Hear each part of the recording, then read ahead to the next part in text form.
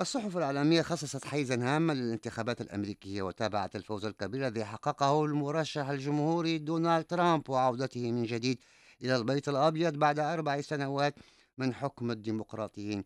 قراءة في أقوال الصحف مع الزميل خلدون زين الدين. مرحبا خلدون. مرحبا بك إبراهيم. إبراهيم ونحن نواكب الآن نتائج الاستحقاق الأمريكي التاريخي، الصحف تواصل تغطيتها المباشرة عريضة آخر النتائج على مواقعها الإلكترونية. التحليلات ستجد إبراهيم مساحة أكبر في المقبل من الساعات والأيام.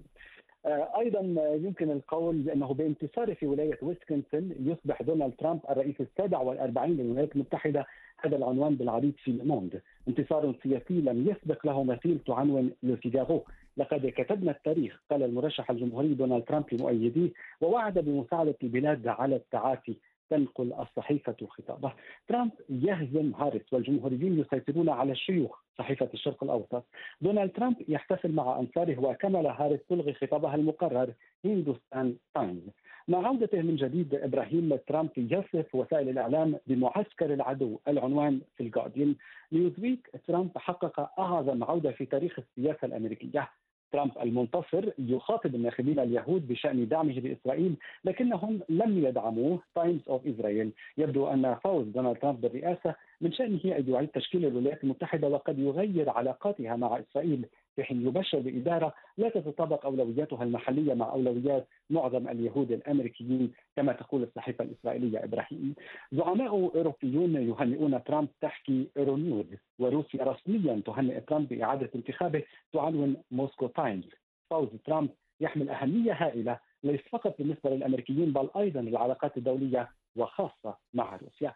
أوكرانيا بعد تعهد ترامب المنتصر بوقف الحروب في مواجهة خسارة أكبر داعم مالي لها. الأوكرانيون يقررون مواصلة القتال ضد الغزو الروسي هذا ما تكتبه بوليتيكو إبراهيم.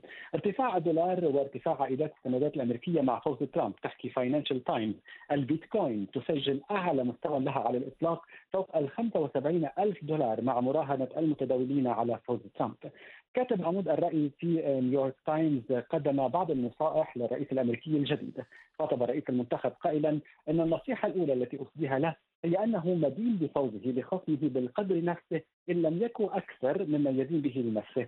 وجه الكاتب حديثه إلى المرشح الجمهوري قائلا بصراحة بعيدا عن أنصارك المتشددين فإن معظم الأمريكيين إن لم يكن جلهم لا يحبونك أو لا يثقون بك، النصيحة الثانية هي انك لا تملك تفويضا لأحداث تغيير شامل حتى لو كان فوزك أكبر مما تتوقعه في إطلاعات الرأي قبل الانتخابات أو فزت بالأغلبية في الكونغرس.